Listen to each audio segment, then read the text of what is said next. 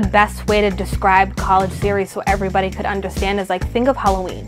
When you are a kid, what do you want to do for Halloween? You want to dress up like your favorite character, right? So putting these kids in a college series, they're putting on the costume of a college player. They're playing in a college game. It's showing them like, hey, I can go to college someday. Hey, I could probably play football in college someday. Come on, you all right. No, no, no, no, no palms up.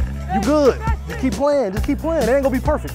Come on, let's go. It ain't gonna be perfect. With us, with A and B, we like to do that with the coaches first. Make sure that we surround ourselves with good coaches. By surrounding ourselves with good coaches, those coaches can understand what, what it is that Coach Brandon and I want to do, or how we want to be involved with players and stuff in their lives and stuff like that. Right behind us on this side right here, that's the student section. I really became close with Brian.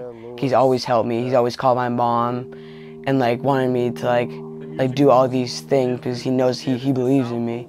When you're a coach or a teacher or like really any type of like position of like learning and mentorship, I would say like the impact you can have on a kid's life is bigger than you think. Like I like I think about this all the time. I wouldn't be here like the student athlete I am today, not just the athlete, without so many teachers. I feel like with him, when it comes to like football, he just, it's kind of what I'm trying to like grow into, just seeing the kids grow up into like NFL stars, college football stars, just being able to put them in that right position and helping them. You gotta widen him out. They got, they got three running backs over there. His sister. You think you think you didn't tell me about that? Really? Yeah, you think you didn't tell me about that? What do you mean? Seekonk is a really hidden town in the state of Massachusetts. Everybody, everybody knows everybody, and everybody knows everybody. A lot of people don't expect small towns to be recognized for football, but there's always few. There's always some few players or people from different parts that you would not expect to be that high of a level.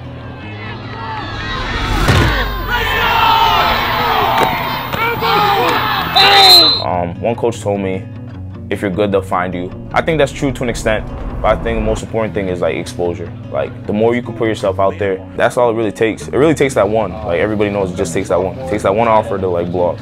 It takes that one coach to, you know, give you an official visit to blow up. And that's why I'm so driven. So when I work out, I think about my family.